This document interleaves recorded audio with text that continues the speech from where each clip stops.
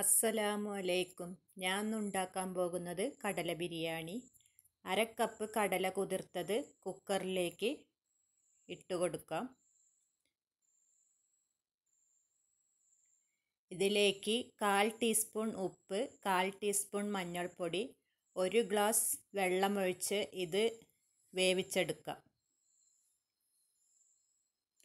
ചട്ടി ചൂടായതിന് ശേഷം നാല് ടീസ്പൂൺ ഓയിൽ ഒഴിച്ചു കൊടുക്കുക രണ്ട് സവാള ഒരു തക്കാളി കുറച്ച് വേപ്പില ഇഞ്ചി പച്ചമുളക് വെളുത്തുള്ളി ചതച്ചത്. എണ്ണ ചൂടായതിന് ശേഷം സവാള അരിഞ്ഞത് ചേർത്ത്. കുറച്ച് ഉപ്പ് കൂടെ ചേർത്ത് ഇളക്കി കൊടുക്കാം. ഉപ്പ് ചേർത്തിട്ടുണ്ടെങ്കിൽ പെട്ടെന്ന് സവാള വഴന്നു വരും. അപ്പോൾ ഉപ്പ് കൂടെ ചേർത്ത് നന്നായി ഇളക്കി കൊടുക്കാം. ഇതിലേക്ക് ഇഞ്ചി പച്ചമുളക് വെളുത്തുള്ളി ചതച്ചത് കൂടെ ചേർത്ത് കൊടുക്കാം.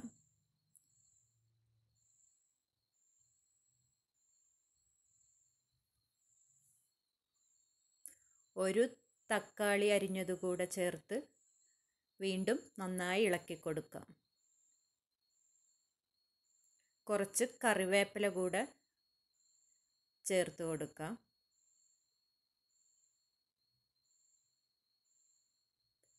ഒരു ടീസ്പൂൺ മല്ലിപ്പൊടി ഒന്നര ടീസ്പൂൺ മുളക് പൊടി അര ടീസ്പൂൺ ഗരം മസാല അര ടീസ്പൂൺ ചിക്കൻ മസാല കൂടെ ചേർത്ത് നന്നായി ഇളക്കി കൊടുക്കണം. ഇതിന്റെ പച്ചമണം മാറുന്നത് വരെ നന്നായി ഇളക്കി കൊടുക്കണം. ഇതിലേക്ക് വേവിച്ച് വെച്ച കടല കൂടെ ചേർത്ത് നന്നായി ഇളക്കി കൊടുക്കാം. ഉപ്പൊക്കെ ആവശ്യത്തിനനുസരിച്ച് ഇട്ട് കൊടുക്കണം. ഇതിലേക്ക് ഞാൻ മൂന്ന് കപ്പ് വെള്ളം ഒഴിച്ച് കൊടുത്തിട്ടുണ്ട്. കുറച്ച് മല്ലിയില രണ്ട് ടീസ്പൂൺ നെയ്യ് കൂടെ ഒഴിച്ച് നന്നായി ഇളക്കി കൊടുക്കുക.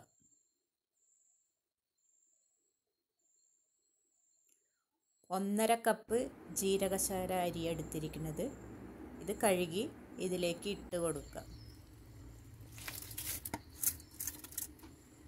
എന്നിട്ട് ഇളക്കിയതിന് ശേഷം ഇത് മൂടി വെച്ച് കൊടുക്കുക. ഇടയ്ക്കിടയ്ക്കൊന്ന് ഇളക്കി കൊടുക്കണം. അല്ലെങ്കിൽ അടി പിടിച്ച് പോകും. അതുകൊണ്ട് ഇടയ്ക്കിടയ്ക്ക് ഇളക്കി കൊടുക്കണം.